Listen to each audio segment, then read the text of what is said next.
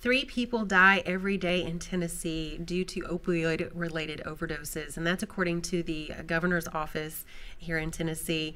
And unfortunately, that's just a, a, very tiny piece of the information about this huge epidemic that we're facing. And here at 91.9 FM and APSU TV, we're working to address this issue and find out how to get to the bottom of it and see how we as a community can help to address this problem. And joining me today is Jimmie Edwards. He's the Montgomery County EMS Director. And I'm Micca Terrell. Thanks for joining us today.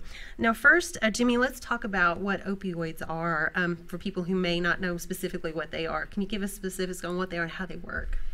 Sure. Opioids are either naturally occurring or they're made in a lab, and we call those synthesized. Most people understand them as uh, being named morphine or, or fentanyl uh, or heroin. And what opioids do is they attach to protein receptor sites that, uh, more specifically, the central nervous system, your, your brain, your spinal cord, and your nerves and they change the way in which our brain receives information from the body, basically blunting that or creating a euphoric, a, a good feeling. Definitely. Now, fentanyl in spe- uh, particular, though, is really potent. Can you kind of talk about that issue as well? Uh, potent in reference to its, its weight or its or its volume. It is 80 to 100 times more potent than morphine, which is a very common uh, pain medication or medication you're given for pain in uh, hospitals and such. And as far as the work that you do with Montgomery County EMS, you've, you've been there quite some time and, and seen really a big change in how this, this epidemic has affected what you do, um, work as there in the emergency services area. Can you talk about how things have kind of transformed over the, that period of time, several decades, right? So we'll roll the calendar back 36 years. The ambulances at that time had one or two single doses of 0.4 milligrams of Narcan on board.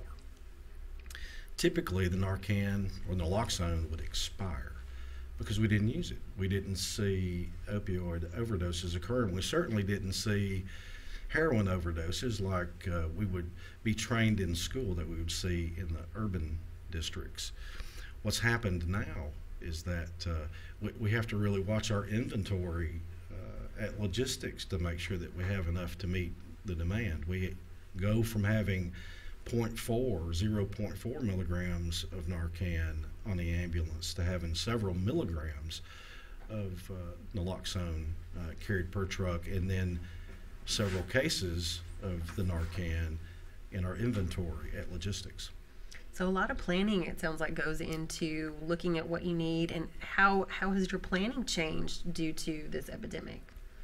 Well, you have to plan budgetarily. You have to plan because it's not just the cost, which has significantly increased, by the way, of available Narcan, but there are other uh, items such as bag valve masks that we ventilate patients with. If they don't have a pulse, there's a a life band that we use with a special piece of equipment we have to do uh, CPR. There are several uh, items that we use once we arrive at the scene, depending on the acuity of the patient, that uh, has caused a significant uptick in, in use, and uh, secondly, in, in cost, and then I'd say thirdly, in our approach or our tactics in, in regard to operations that, that Chief Proctor will talk about. And as far, can you give us a rough idea of, of how much a dose would cost of Narcan? Because I know it sounds like you have a, again, you said it cost has gone up. Uh, sure, sure. So uh, my most recent understanding of the increase in costs is uh, back in the day, it was a dollar or two dollars a dose and we are currently helping our Montgomery County Volunteer Fire Service by supplying them with naloxone and, and the atomizers that's used to administer it nasally. And we, we will spend uh, greater than $70 per kit to prepare them uh, for their first responder encounter. Wow. And how many kits typically might you use in a day? I know days are not typical for you guys. I mean, you probably have very untypical days, but maybe in a, an average day, can you give So, us a rough idea? An average, we're, we're encountering three overdoses a day. And, and to kind of put that into perspective, if I could quote the 2018 uh, medication, naloxone administrations, uh, the emergency medical services, the ambulances, the paramedics administered 832 times in 2018.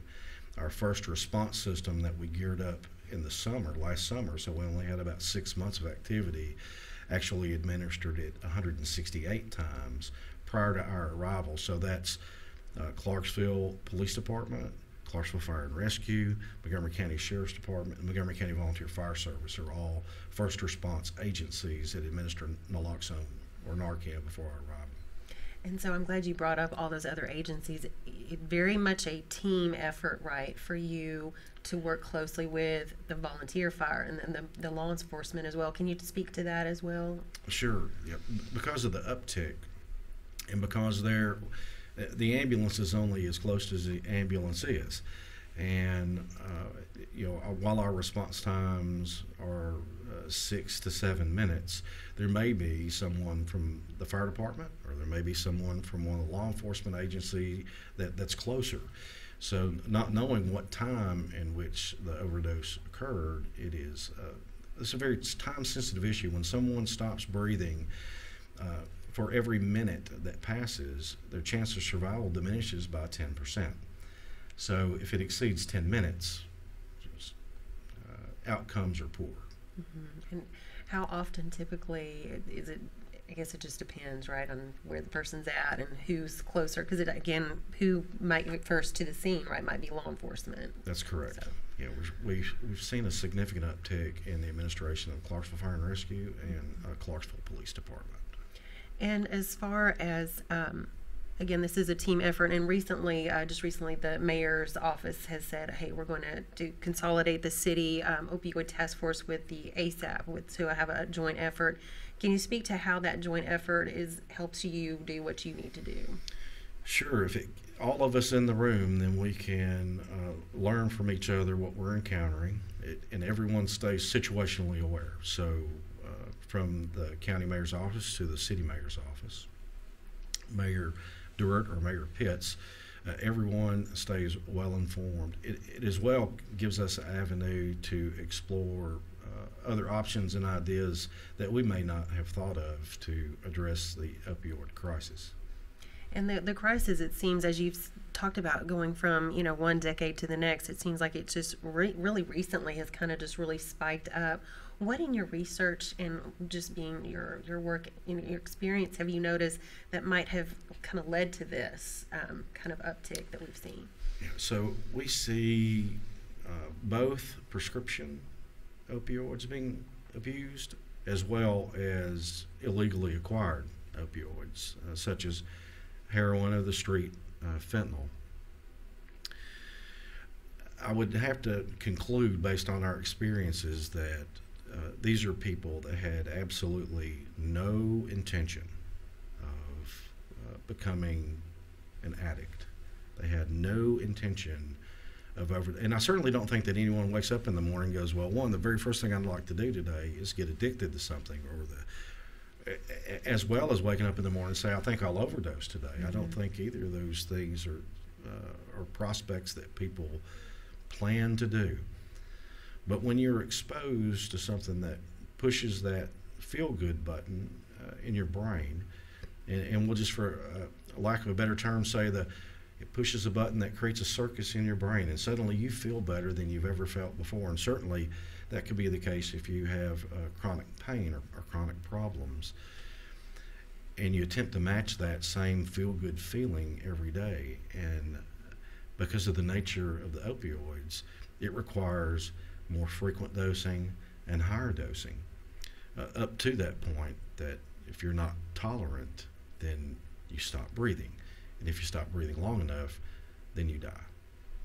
So it's typically people who just, like you said, never expected this to happen. Maybe innocently enough got a prescription and then just kept going. Right. It would be so easy if we could teach all of the emergency services what an opioid addict looks like. But you can't because it has no socioeconomic boundary. It is it is someone like me that may may have gone somewhere uh, to seek uh, treatment for back pain. Next thing you know, they're prescribing an opioid. It ha- and I happen to be one of those people that really enjoys the way that it makes me feel. It makes me feel better than I've ever felt before. And I get kind of attached to that, and I want to feel that good, well, every day or every minute and every moment. So, and it requires more and more opioids at, at higher and higher doses. And then there's also that incident where you have people throw alcohol into the mix too. Then that, how does that change the equation? Right. So we do, you know, the majority of uh, time we uh, it's a, what we refer to as a poly overdose or a poly substance abuse. Again, it it is uh, the endorphin, the receptor sites that endorphins would normally use, like a runner's high, if you've ever heard about that, is is what these opioids target, and it does make you feel better. And people uh, to people for hundreds of years have used alcohol in which to treat their pain. So it definitely complicates things. It for does. Sure. So how do you in in working again in the sort of administration field in which you're in and policy, how have you sort of tailored your your policy and administration to kind of say, okay, everybody, we need to be looking out for these certain warning signs, or how do you how do you kind of deal with that? I guess maybe watching to see whether that's an, an issue when you come upon a call. Obviously, then other than the, the bottle being there. Right. Because you can't really say, well, this person looks like mm-hmm. a, a opioid addiction patient. Uh, you have to keep all your senses readily available to you and look for the signs at the scene. We could very, uh, and we do encounter this quite frequently, where we don't get the call. The call doesn't come through 911. Hey, they've overdosed on heroin, or hey, they've taken too many of their their pills. Call may come in that I can't wake them up, or that they're having difficulty breathing, or they have an altered level of consciousness. And then we arrive on the scene, and suddenly, well, we discover that, well, there's a needle hanging out of their arm, or we see the evidence of the of the pill bottles, or there's just more information, or they could be have there are certain specific physiologic signs uh, that we look for. And how have you, obviously, as a medical professional, you've had to adjust your the training you get and your your paramedics get. How have you adjusted that over time as to to deal with this? It's all situational awareness. Every, every one of us were taught that uh, Narcan is given for opioid overdoses, or it may be given if someone is unconscious, unresponsive, or in arrest, and we don't have uh, any known etiology. We don't know uh, why. Now it happens so frequently is that the naloxone, which once remained in the truck waiting for us to, is now one of those first line agents. So it changes our approach entirely. Definitely. And as you look ahead to the future, Jimmie, what what are you trying to anticipate? You know, watching to see where that that puck is going, to see where that next issue is. What are what are you your statistics and research showing you? But right now, it's all ticking up. The, the first 15 days of 2019 compared to the first 15 days of 2018. In 2018, we administered naloxone 32 times. First 15 days of 2019, 71 times. So greater than 120% uh, uptick in administrations of, uh, of Narcan. I- really see our condition as uh, one of uh, very personal, very. We need a culture change. We have to change the way in which uh, medicine is practiced, so that we we don't identify those people who have a tendency to have that circus button pushed in their brain um, that says, "Hey, I need more of this feeling." Jimmie Edwards, thank you for stopping by and speaking with us here at APSU TV and 91.9 FM. And our uh, interview continues with Chris Proctor up in just a few minutes. Thank you. Thank you. Thanks for joining us here at APSU TV and 91.9 FM. I'm Micca Terrell. We're talking about the opioid epidemic and how serious of a problem this is. And at the outset, a few minutes ago, we mentioned how, according to the governor's office, about three Tennesseans die every day um, due to some opioid related overdose. And it's a serious problem.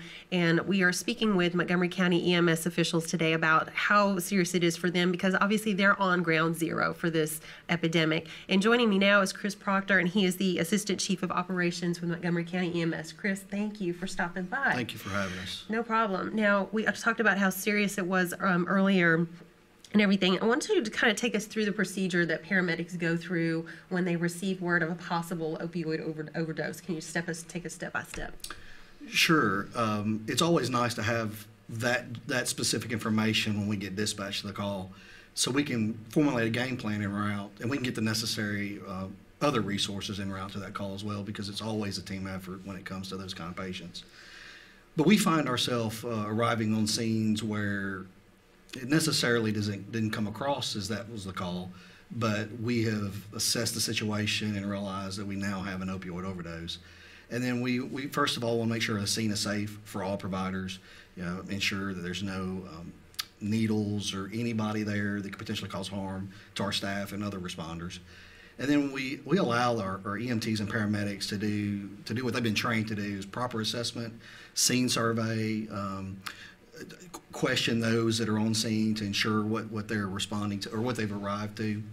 And then again, they follow protocol, procedures, they they know which medications to administer, and then and transport to the hospital.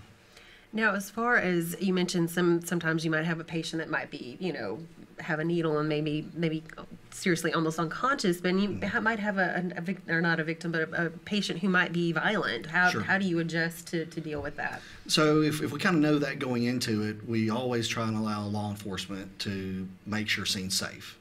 Uh, if we arrive first and then we encounter a violent patient, we just try to s- step away, to back out, get away from the scene, notify law enforcement.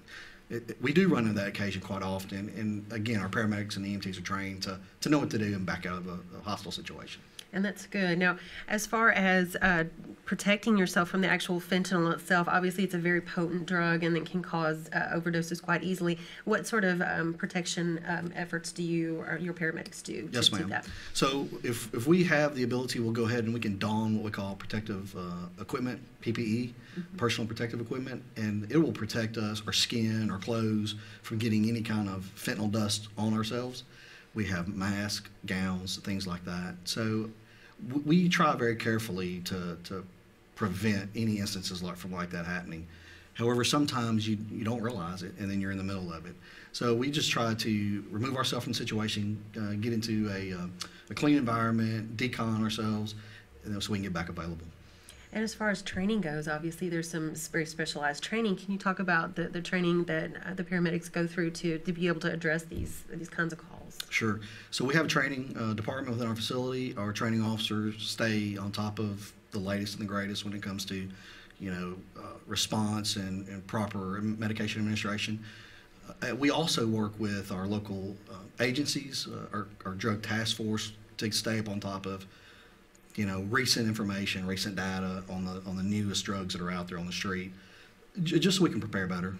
Yeah, because I'm sure there are probably there are new ones coming out pretty, pretty regularly, right? Pretty recent, yeah. So we have to stay in touch with our other mm-hmm. agencies to, to stay up on top of the, the most recent information. Yeah, so you probably talk to the police department, law enforcement pretty often on what's Most the new definitely. thing that's on the street, right? Correct, most definitely. Now, what about counterfeit drugs versus um, maybe uh, drugs that are processed maybe at an actual you know, pharmacy or compounding Mm-hmm. uh, facility? Do you run across a lot of illicit drugs that are just kind of homemade as well? We probably run across that more often than we do the prescription meds. Um, we see that the they're they're they're getting smart and they're they're creating new new medicines constantly. So yes, we are seeing that a lot, and that's part of the education that we have to stay on top of. Definitely. Yes, ma'am. mm -hmm. Now, um, as far as um, more prescriptions than people, I noticed in 2015, it looks like we had like 118 prescriptions per 100 people. So people are getting these le- mostly legitimately, right? And it starts out pretty innocently and Mm-hmm. Yes. everything. Um, so I guess what, how are you educating yourselves and, and learning how to do like okay obviously you can you can find the bottle there that's great but, but what sort of training again do you do to kind of keep yourselves aware of what's what's what in, in, in the call Yeah, so we we stay up on top of, like I said, prescription medicines. We want to stay educated. We take routine uh, monthly trainings. We have online trainings, things like that, that we can stay updated on. And we like to try and educate the, the, the, the public.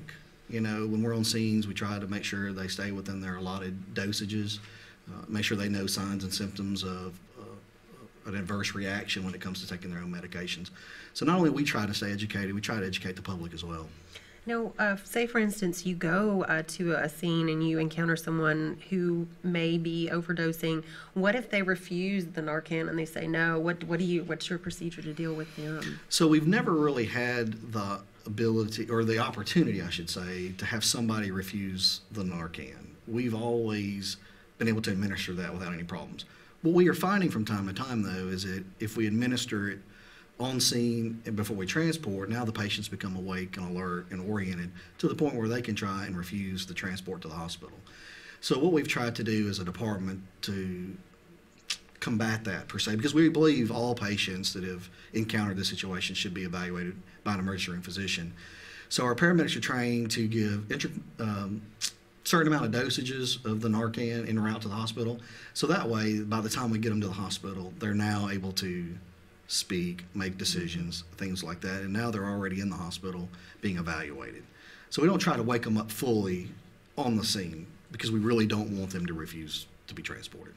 Pretty pretty scary stuff. What's that like? I mean, uh, obviously you probably see that. What is it like to see that situation where you might have someone who's completely unconscious, maybe not breathing on their own, and then administer? Typically, does it take one or two? And and how do you do that? Do you is it something they inhale or how do you? Right. So first responders give it via uh, via the nose, intranasally is what we call it. Um, we, as paramedics, we can provide it via an IV. It allows us to give smaller doses, allows us to wake them up slower. It provides a better outcome of the patient versus some adverse reactions to a lot of Narcan quickly. Um, so what we see is, is yes, our patients aren't breathing, uh, very blue in color, and if first responders have gotten on scene first, potentially when we arrive there, now they're talking to us. So we encourage highly to be transported to the hospital. Definitely, because like you said, they need to be checked out by. Right, because Narcan only lasts for approximately 30 minutes. So we sure don't want to leave somebody at a residence or a location and 30 minutes later they're back in the same situation they were previously. Right, definitely. Now, as far as um, what you deal with when you have someone you've you've brought back and, and everything, how give me your your first like I guess your first person experience when you've seen one person go through that that situation and then you can't get called back to that residence again mm-hmm. to see and bring them back once once again. What's it like to to deal with that situation? Because you probably encounter that quite a bit. We do, as a matter of fact. And the odd part about that is sometimes we encounter it, multiple people on one location. It could be friends of each other, family members. In all honesty, it's it's almost sad to say, but it's it's almost frustrating on emergency responders uh, side of the house because we know that we're there to, to, to take care of those that are injured or harmed or, or, or need our assistance. But we also know too that repeat offenders could take away our ability to help somebody else in a close proximity that needs us in a in a cardiac event or a stroke or a seizure. And if we're in a rural area tending to a repeat offender, something could happen in that same rural area and it creates a long uh, response time for us. So it can become frustrating as a, as a responder. And how do you try to prepare for those situations? Because obviously in Montgomery County, we do. We have a lot of hills, a lot of rural areas. We're not all metropolitan just yet. Sure. But, but how do you how do you prepare for that? So we ask our, our paramedics, our, our units, and our supervisors to be aware of the, of the calls, uh, move assets into other areas if those zones are uncovered to help uh, preempt any calls that we may have while we're already tending to another emergency situation. So good. So a lot of again thinking ahead, and and probably I guess you you learn from what where you go. Do you have any particular areas of the county that tend to be hot spots for for this kind of issue, or is I, I think it's over? I think it's pretty much all over. all over. Yes, ma'am. Got you know how um, how often have you found? Because I know we, we addressed a little bit with uh, Jimmie a few minutes earlier. Law enforcement helping responding with you. Are you typically getting there right as as they're helping out? Because I know they have to be able to be trained to with deal with Narcan too. right? Correct. So what? That's what's probably one of the huge reasons that we have armed the law enforcement and fire side of the house with Narcan, is because sometimes our response, whether it be our well, we, our goal is five to seven minute response time, but if we're making calls and we're busy and we're delayed getting to those patients, we know that fire and law has the ability to to initiate that care. So we we lean on those guys and girls to be able to help us with those particular patients, just in case we do have a, a lengthy response time.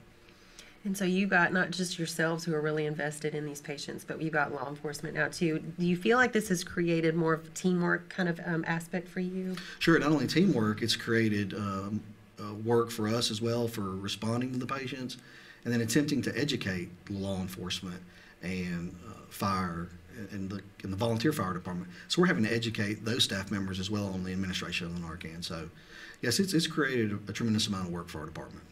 And as far as, um, because I don't think everybody necessarily realizes, it's not just med calls that you're seeing this situation, right? You might be traffic accident. Can it talk to us through about kind of just the variety of, of different times you've and situations you've seen this happen? Yeah, sure. So somebody driving by in a parking lot can see somebody slumped over a wheel, can see a vehicle on the shoulder of the road, and don't know what it is, but they call concern. So we can show up and find that this individual is potentially overdosed. We might not know that yet, um, but but that's we're finding that more and more often that, that these people are seeing these people out in the in the general public acting um, strangely and calling 911 and, and we're finding that that's what's happened when we arrive on scene is they've overdosed on some form of medication And finally, um, Chris, can you kind of give us an idea of, what the community can do? Because we know we've already got a lot of people invested. We got you and EMS. Uh, the paramedics are very invested. We got law enforcement. What can regular folks do to help deal with this um, issue of opioid overdoses? Right i think stay vigilant uh, educate themselves read as much as they can uh, i think it's important to uh, stay upon your medications uh, make sure your medication regimen is appropriate and doctor ordered uh, if you're concerned about your medication list reach out to your physician uh, ask them questions I, I think it's important to to be your own advocate to make sure you're taking care of yourself so just just stay aware that's what i would that's what i'd recommend Great. Education is key, right? that's right education is free yep Chris, thank you. Uh, any other thoughts about uh, where we're headed with with this issue of, of the opioid um, issue? Where obviously it seems like it's just steadily growing and growing. No, I, I think it's just we we as first responders need to be keenly aware of what's going on in our in our community. Uh, stay educated, educated, educated, and stay aware of what's going on and be prepared to respond. Definitely. Chris, thank you so much. Thank Chris you for having Proctor with Montgomery County EMS, and I'm Micca Terrell with APSU TV and WAPX FM 919.